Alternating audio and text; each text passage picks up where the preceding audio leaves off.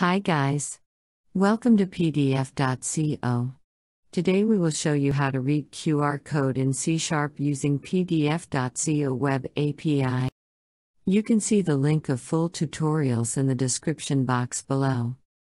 Come and check out pdf.co for more info. We will use this sample QR code in this tutorial. Let's start by opening the Visual Studio app.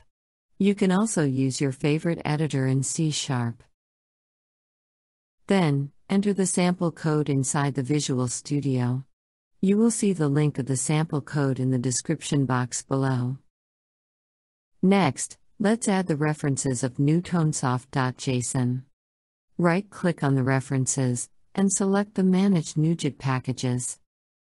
On the Browse, search newtonsoft.json and install.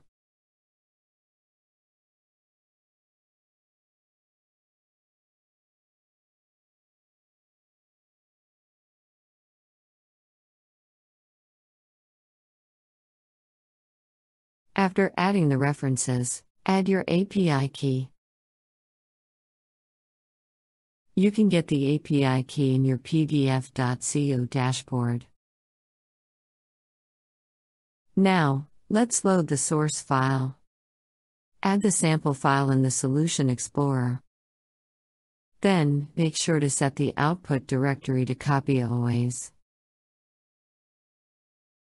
Next, add the barcode type. And set async to true. After setting up the code, you may now run the program. Once the program runs successfully, it will return the barcode type and its value. We've got a lot of tutorials that you can check on our pdf.co website.